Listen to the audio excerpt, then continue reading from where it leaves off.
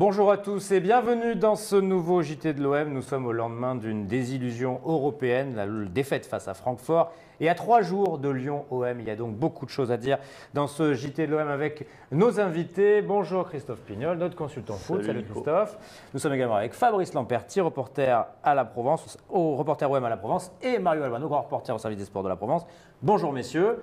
Merci d'être avec nous sur ce plateau. Alors, euh, on va évidemment revenir sur cette défaite euh, euh, in extremis hier soir dans un Orange Vélodrome désert, évidemment, à huis clos face à Francfort, premier match de poule de la Ligue Europa. on va revenir donc sur cette défaite. Le vélodrome était à huis clos, en effet. Euh, les Allemands étaient quand même réduits à 10 en deuxième mi-temps. Euh, Maxime Lopez, en conférence de presse, a parlé d'une faute professionnelle. Est-ce que vous êtes d'accord avec lui sur cette défaite de l'OM Maxime Lopez parle de faute professionnelle. Euh, faute professionnelle, je n'irai pas jusqu'à là. Après, c'est vrai que je pense qu'on n'a pas abordé comme il le fallait ce, match, au-delà du contexte dans lequel il s'est joué, on ne va pas y revenir, au-delà des faits de match qu'il y a eu, on ne va pas y revenir non plus, mais euh, je pense que c'est la différence entre un match de championnat et un match de Coupe d'Europe. On peut se permettre de faire une mi-temps contre Toulouse, on peut se permettre de faire une mi-temps contre Guingamp et l'emporter 4-0. Euh, en Coupe d'Europe, c'est du début jusqu'à la fin. Il faut être 95 minutes concentré. Un match n'est jamais gagné. On a eu une première mi-temps plutôt, euh, plutôt intéressante et puis en deuxième mi-temps, on n'a pas mis les ingrédients qu'il fallait. Donc mm. voilà, on a vu hier, je pense, encore une fois, mis à part le, contexte, mais on a vu la différence entre un match de championnat et un match de Coupe d'Europe les progrès qu'on a à faire. Euh, Fabrice, vous êtes d'accord C'est quoi C'est la concentration qui a manqué euh, Les joueurs ont pris ce match un peu à la légère, peut-être? Non, pour moi, ce qui a vraiment fait défaut hier, c'est le réalisme offensif, parce que l'Olympique de Marseille, via euh, Valère Germain ou Florian Thauvin, a eu les occasions hmm. pour, pour creuser un peu plus l'écart avec, avec Francfort. Euh, Ocampos a rapidement marqué, donc euh, on craignait tout ce, problème avec l'ambiance. Finalement, ben, les Olympiens ont été rapidement dans le match malgré tout. Et derrière, ben, il y a eu plein d'occasions, et notamment on pense à ce raté, ce duel perdu de Valère Germain face à Kevin Trapp. Je pense que si Valère Germain met le but au fond, ça fait 2-0, c'est fini, l'OM déroule, Francfort prend un coup derrière la tête, et aujourd'hui on ne fait pas les mêmes constats. Donc euh, qui fait vraiment défaut pour moi, c'est le problème de réalisme offensif. Mm. Et après, si on voit le bon côté des choses, on se dit que l'OM ben, finalement a eu des occasions, donc euh, ben, que ça peut sourire euh, très rapidement derrière. Et c'est ça, Mario, on a, on a l'impression que l'OM n'a pas fait un si mauvais match que ça malgré le résultat. La première mi-temps contre Guingamp était bien pire que ce qu'on a vu oui, hier soir. Oui, oui, bah, en fait, euh, ce type de match s'était déjà produit la saison dernière, je vois, contre Ostende, Braga ou Bilbao. Mais l'OM avait marqué plus de buts en première mi-temps avant de baisser un petit peu de pied. Là, le, problème, c'est que les Olympiens n'avaient qu'un seul but d'avance. Euh, là où contre Stand, ils en avaient rapidement pris trois. Euh, contre Bilbao et Braga, ils en avaient aussi. Donc, euh, leur, leur, petit trou dans le match avait été moins préjudiciable. Parce que en fait, euh, bon, euh, hier, c'est vrai que les Allemands ont eu d'autres occasions. Ils auraient pu marquer avant. Euh, Pelé a fait un bel arrêt, mais je suis absolument d'accord avec Fabrice. Hier soir, l'OM a eu des occasions. Il aurait suffi, entre guillemets, de les mettre au fond pour se donner de la marge. et, c'est là la grosse différence entre l'OM d'hier et l'OM des matchs précédents, qui avait marqué beaucoup de buts, en avait aussi encaissé. L'OM en avait encaissé deux à Monaco, euh, autant qu'hier, mais sauf que là-bas, ils en avaient mis trois. Bon, on est obligé de parler de l'ambiance qu'il y avait hier sur Vélodrome, on ne peut pas évidemment ne, pas y revenir. Euh, quand on est joueur, après on parlera vraiment de ce qu'on a vécu hier soir au stade, mais quand on est joueur et qu'on joue dans un stade euh, complètement désert comme ça. Peut-être que vous l'avez déjà connu, Christophe. Fabrice, c'est plaisant parce que j'ai joué à Monaco. En même temps, vous avez joué à Monaco, donc c'était du quasi plus régulier. Pas, pas, besoin de parler. Pas, à ce point, mais c'est vrai qu'il y a eu des, des, matchs où on entendait les les spectateurs parlaient, bien évidemment. Mais après, dans ce contexte-là, non. Franchement, j'ai jamais connu un huis euh, mm. total, surtout dans un stade euh, aussi magnifique que celui de l'Orange Vélodrome. Mais c'est vrai que ça ressemble à un match euh, amical. Il faut trouver des sources de motivation supplémentaires. C'est pire qu'un match amical. Il y a plus d'ambiance lors des matchs amicaux.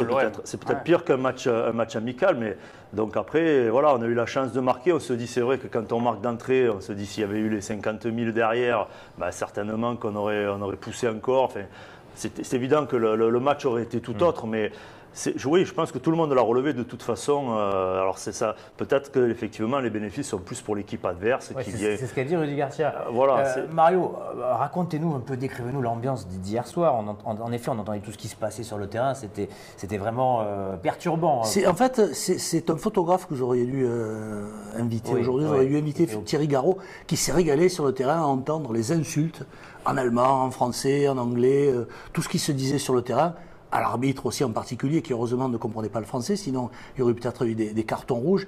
C'est vrai que c'est ça qui est bizarre. Euh, on entend, on entend euh, toutes les conversations, on entend les commentateurs radio devant, euh, mais cela dit, n'oublions pas que en dépit de cette, euh, cette absence d'ambiance, cette absence de, de, de, soutien, l'OM a eu des occasions, on en revient, on en revient à ça en première mi-temps. Il y a eu le but, il y a eu d'autres occasions, les, belles actions de Payet, les occasions de Germain, celles de Tovin. Donc malgré ça, l'OM aurait très bien pu mener largement à la mi-temps. Euh, c'est plus effectivement sur la deuxième mi-temps et sur l'arbitrage, je pense qu'on va pouvoir y revenir, on va y revenir. Que, que, que cette absence de, public a, pesé. Oui, parce qu'en effet, Fabrice, sur, euh, selon, il y a eu des décisions un peu litigieuses, euh, un peu discutables en tout cas, euh, peut-être qu'avec la pression du public, bah, les décisions arbitrales, et puis peut-être qu'il y aurait eu un, ça aurait un petit peu plus été favorable à l'OM si le public avait poussé, s'il y avait eu un public tout simplement. Oui, s'il y avait eu de public, et je pense aussi si le, corps arbitral avait eu un peu plus de, clairvoyance. Il y a ces arbitres de surface euh, auxquels Rudy Garcia a fait référence, effectivement. En disant que ça ne pas grand-chose. Mais c'est vrai qu'on les a vus à un moment. Il y a des actions qui se passent sous leur nez, sans parler euh, des pénalties. La bousculade avec, euh, avec Tauvin, je pense que c'est quand même assez limite, hein, c'est pas sûr, mais c'est vrai que la main sur le centre de Maxime Lopez, me semble-t-il, ça me paraît compliqué de ne pas la siffler. On a vu au delà du dernier mondial, où justement il y avait le, était, euh, qui était là, on a vu des pénalties sifflés pour beaucoup moins que ça. Donc c'est vrai que c'était, euh, le corps arbitral n'a pas fait vraiment preuve de, de, clairvoyance. Il y avait des actions sous leur nez l'arbitre ne savait pas s'il y avait corner ou s'il y avait sortie de but. Donc c'est quand même assez, euh, assez hallucinant et on se demande vraiment à quoi servent ces, arbitres. Moi, je, au-delà, au-delà des, arbitres, parce que bon, euh, ils font des erreurs comme euh, des joueurs peuvent. Radonic, il a, fait une mhm. transversale de, d'amateurs, mais c'est l'UFA. Pourquoi l'UFA veut se distinguer en n'instaurant pas la VAR, qui existe en Coupe du Monde, qui existe dans certains championnats?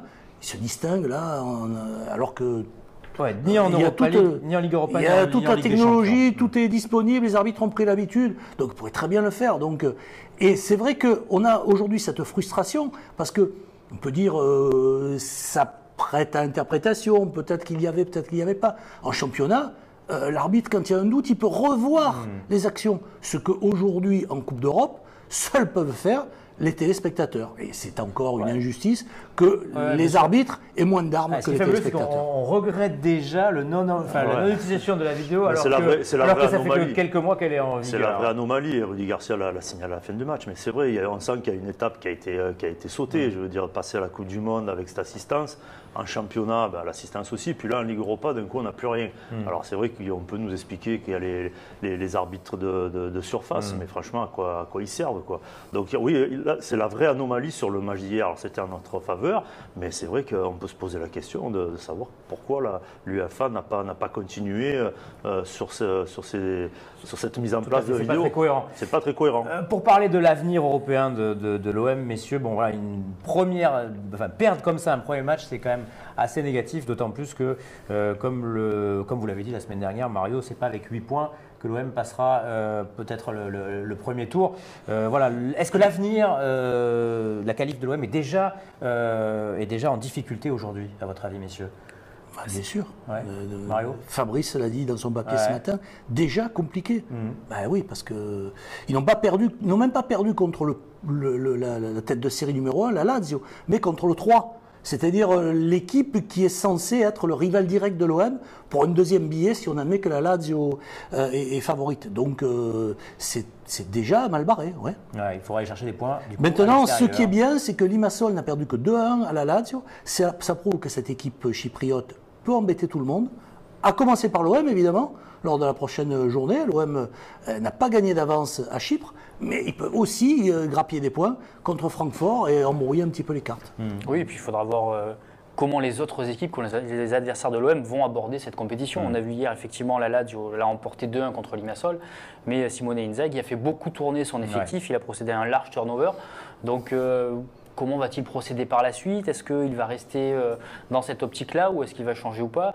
Donc c'est des choses qu'il faut prendre en considération et dont il va falloir tenir compte jusqu'au bout. Hmm. Là, il y a eu un turnover euh, assez modéré de la part hier soir de, de Rudy Garcia. hein, Quasiment la moitié de l'équipe. Ouais, il y avait quand même oui, il y Cinq avait joueurs, cinq- joueurs, joueurs euh, qui, qui- qui avaient, qui. Après, il fallait s'y attendre aussi, euh, avec le match de, de Lyon qui, qui- qui se profile, il fallait s'y attendre. Après, je pense que c'est aussi symptomatique, euh, des, on parlait tout à l'heure des occasions euh, ratées par Germain, mais c'est un peu symptomatique, euh, manque de confiance. Il a peut-être senti euh, Mitroglou lui passer un petit peu devant, manque de confiance pour un buteur, c'est redoutable. Et puis, il y a des joueurs qui jouent moins.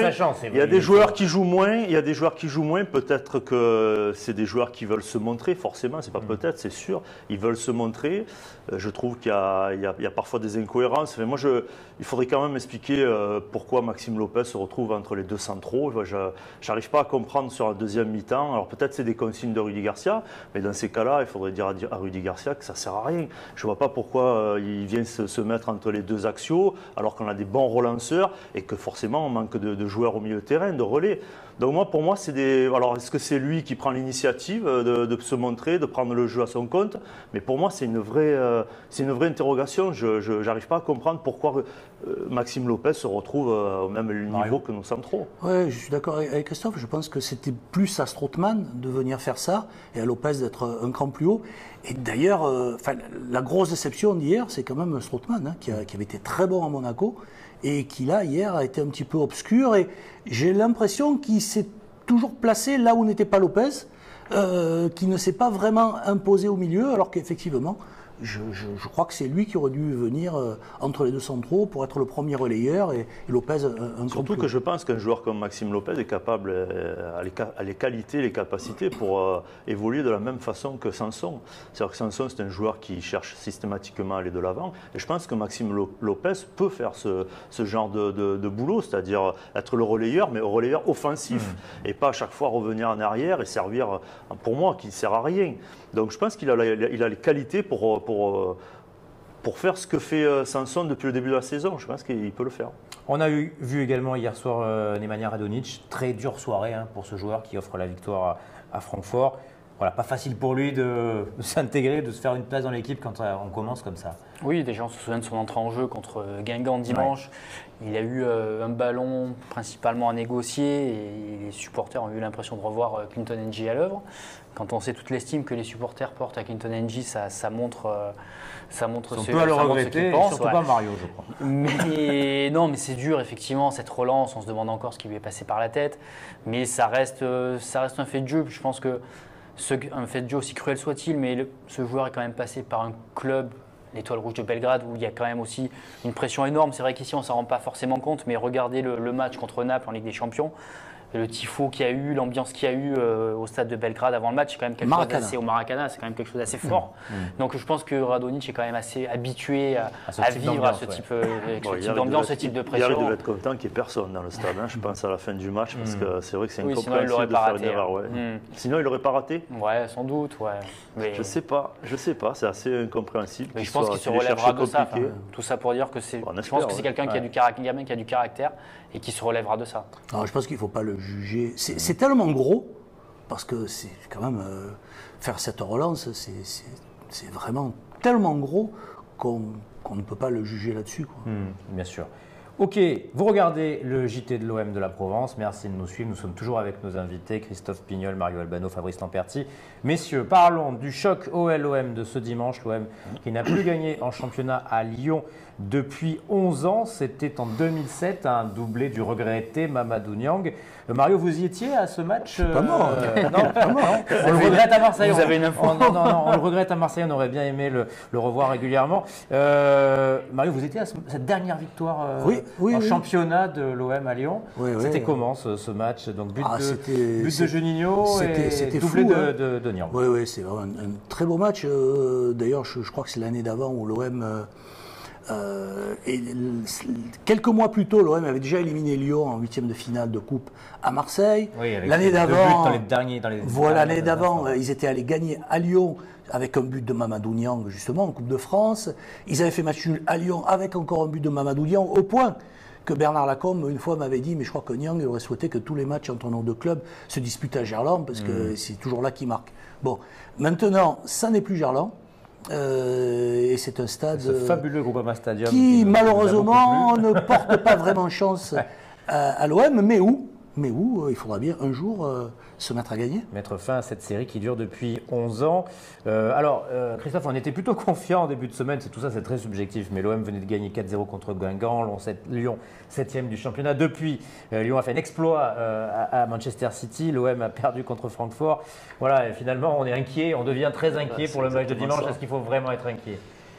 Je- euh, moi, je le suis. hein. Je, je suis inquiet parce qu'effectivement, alors on peut, on peut faire aussi référence au match de Monaco parce que Monaco, c'est une vraie, une vraie perf qu'on a, qu'on a réussi à faire là-bas. Mais je suis inquiet parce que euh, s'est aperçu à travers le match de Lyon à Manchester que les joueurs n'avaient pas lâché euh, Bruno Genesio et qu'il y avait une, une vraie cohésion de groupe. Et donc, je me dis, je vois pas comment Lyon pourrait euh, euh, rechuter. Donc euh, à partir de là, euh, ça sera un grand match et euh, je pense avec deux équipes de très haut niveau. Marseille est capable, est capable de faire beaucoup beaucoup mieux que ce qu'elle a fait hier. On l'a vu, surtout au match de, de Monaco. Donc je pense que ça va faire un, un- un gros match de football, mais Bah, je suis un peu inquiet. Et puis, euh, Fabrice, il peut y avoir quand même aussi cette petite décompression après cet exploit des Lyonnais, un petit relâchement. Ça, ça peut arriver, ça euh, Ouais, moi, paradoxalement, après ce match-là, je ne suis pas inquiet pour plusieurs raisons. Euh, la première, bah, c'est que l'équipe qu'on a vue hier ne sera pas celle de, que Rudy Garcia alignera dimanche. Euh, Rudy Garcia a géré vraiment euh, ces, deux matchs, ces deux matchs de la semaine. Et dimanche, on va revenir à une équipe plus classique, Ouais. plus habituée, enfin, qui se connaît mieux, qui a davantage d'automatisme. Et souvenez-vous, bah, c'est ce que vous disiez tout à l'heure, mais À l'issue du week-end dernier, tout le monde disait bah, l'OM attaque ce match en position de force. Et puis là, d'un coup, la hiérarchie euh, semble s'inverser. Mais finalement, ça reste la vérité d'un match avec tous les changements qu'il y y a eu, avec le contexte particulier. Et je pense que l'équipe euh, olympienne, que l'OM euh, dimanche ne montrera pas du tout le même visage. Je ne les vous- je- c'est vraiment un sentiment personnel, mais je ne les vois pas perdre. Oui, mais c'est vrai que tu, tu as- raison, Fabrice, euh, sur, euh, sur le- les- les- faire la différence entre les deux matchs. Ça sera deux matchs différents, deux équipes différentes, peut-être deux, deux- On abordera de façon différente le match. C'est par rapport à Lyon. C'est pas euh, après le match de City, euh, c'est pas le même Lyon qu'il y a une semaine. C'est surtout là-dessus que je me dis que ça va.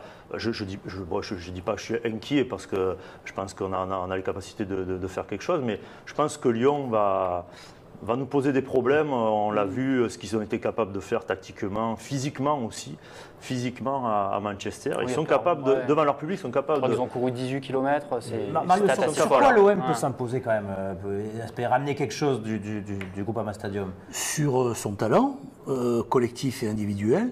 Euh, Hier, on a encore vu des gestes extraordinaires de, de, de- de Dimitri Payet. C'est- C'est des matchs comme ça, souvent, euh, il se débloque sur des, sur des gestes individuels. Sur son talent collectif, sur sa capacité à réagir aussi. Je ne crois ni à une décompression lyonnaise, ni euh, à un coup de massue sur la tête de l'OM.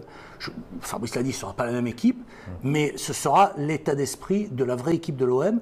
Et, et les Lyonnais, eux, euh, ne vont pas entrer en vainqueur euh, euh, potentiel, euh, croyant qu'ils ont déjà gagné d'avance, sous prétexte qu'ils ont gagné à Manchester.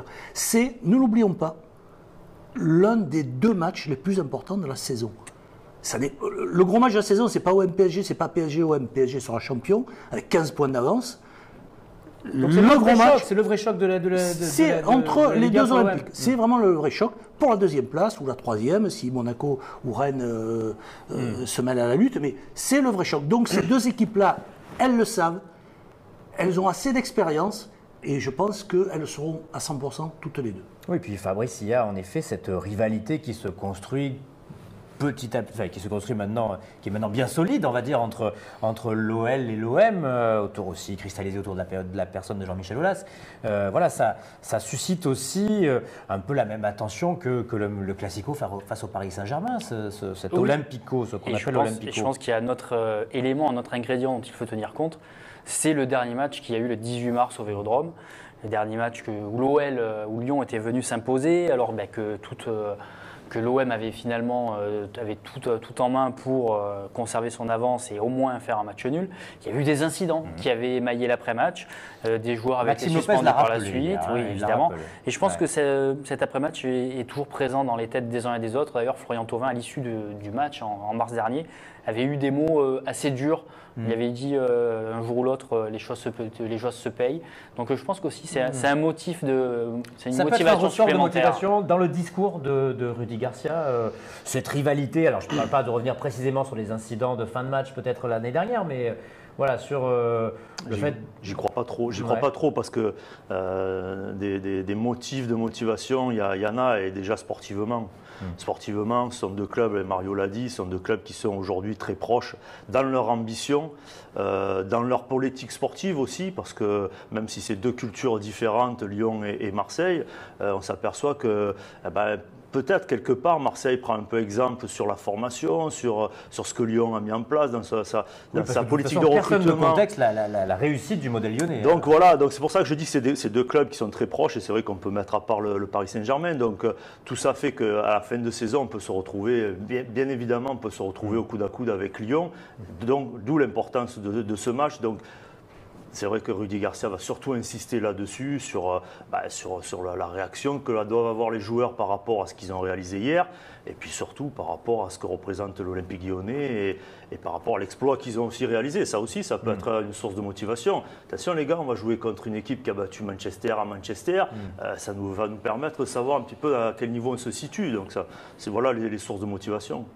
Messieurs, l'OM est, deuxième, évidemment c'est anecdotique euh, après quelques journées, euh, et puis c'est deuxième à la différence de but, mais finalement deuxième c'est une ambition euh, que l'on trouve de plus en plus raisonnable quand on voit le début de ce, ce championnat. Qu'est-ce que vous en pensez? Mario Je pense que c'était l'objectif du début de saison. Euh, on est quand même encore trop loin du but pour, pour estimer que, cet objectif va être atteint ou ne va pas l'être. Le match de dimanche fera partie justement des, des éléments clés qui permettront à la fin de la saison d'être deuxième ou pas. Parce que Monaco peut-être n'est pas forcément au niveau pour cette deuxième place, ce qu'on voit aussi depuis le début Mais de ils le saison. seront peut-être quand ils auront récupéré tous leurs joueurs. euh, et puis quand euh, en février, euh, on attaquera la deuxième phase des, des Coupes européennes et on saura qui est encore en lice ou pas. Euh, L'année dernière, euh, leur, euh, leur élimination, finalement, leur a fait du bien en championnat. Et c'est le, parcours de l'OM jusqu'à la finale de la Ligue Europa qui l'a empêché d'être sur le podium. Donc tout ça, sont des éléments qui, qui entreront en jeu. On est quand même assez loin du but. hein. Fabrice, dans cette euh, lutte pour la deuxième place, on a tout intérêt à ce que l'OL aille le plus loin possible en Ligue des Champions. Il faut être supporter de Lyon là, non Finalement, mais écoutez, Non, mais si vous savez quoi logique, faire le mercredi, le mardi et le mercredi, vous pouvez supporter Lyon de votre, télé. Allez-y, ouais. Mais euh, non, mais c'est Pas sûr. aller que- mais en tout cas, euh, être content quand, quand le- le- les Lyonnais perdent de l'énergie sur Oui, et comme, dit- comme le disait Mario, ça a sans doute joué, le parcours de l'OM a sans doute joué Mm. sur, la, sur la troisième place hein, que, que Lyon a finalement ravi à la fin. Euh, mais après, de notre côté, euh, on espère aussi que l'OM fera un beau parcours européen, hein, même si c'est compliqué, comme on l'a dit précédemment, que ça va être, ça va l'être d'autant plus dans les prochaines semaines. Mais euh, voilà, on espère aussi. L'OM est quand même attaché à, la Coupe d'Europe Ouais. depuis des années. Les supporters, ils sont très attachés. Donc on espère aussi que l'OM va se reprendre et sera, sera là passer l'hiver. C'est- ils, ont, ils ont laissé des plumes physiquement, mais ils ont surtout retrouvé une certaine cohésion. C'est c'est là-dessus qu'il va falloir euh, faire attention. Mais après, c'est vrai que moi, je pense que les Lyonnais euh, craignent aussi les, les Marseillais. Je pense que ça peut être euh, une, un atout pour nous. C'est que je pense qu'ils ont peur de, de l'Olympique de Marseille, ils ont peur de leur début de saison, ils ont peur de ce qu'ils ont vu individuellement et collectivement. Parce que même si on parle du, du match de Monaco, est-ce que Monaco est véritablement euh, un des gros en ce début de saison? Ils n'ont pas tout leur effectif, ils ont des, des difficultés. Jardim a, difficultés à trouver la bonne formule. Je pense qu'on a envoyé un, un vrai signal. Un vrai et- signal, ouais. un vrai signal sur Lyon, sur, sur le PSG, sur, sur les équipes qui vont jouer, peut-être sur Rennes aussi. euh. Donc euh, je pense que Lyon aussi craint le... Parce que à Manchester, ils font le match, euh, alors ils avaient la pression, mais sans l'avoir véritablement la pression. S'ils perdaient à Manchester, euh, ben, on aurait dit bah, c'est logique, c'est champion d'Angleterre, c'est la grosse équipe. Donc ils ont joué parfaitement le coup, tactiquement, physiquement, ils ont été très bons.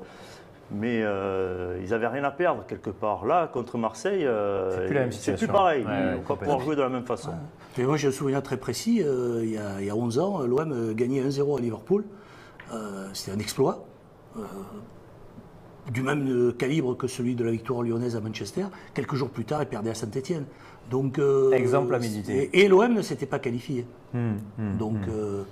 Euh, Ouais, tout est encore possible. euh, On est qu'au début de la saison de Ligue 1, de la Coupe d'Europe évidemment. Donc euh, on aura encore beaucoup de choses à dire. OL, euh, OM, c'est à suivre en live tweet avec la Provence sur laprovence.com évidemment. N'oubliez pas non plus la zone mixte en direct sur notre page Facebook La Provence OM dimanche après le match. Et puis surtout, lisez La Provence et La Provence des sports en kiosque et en numérique avec les reportages, analyses, interviews évidemment de Mario et Fabrice. Merci à tous de nous avoir suivis. À bientôt pour un prochain JT de l'OM sur La Provence.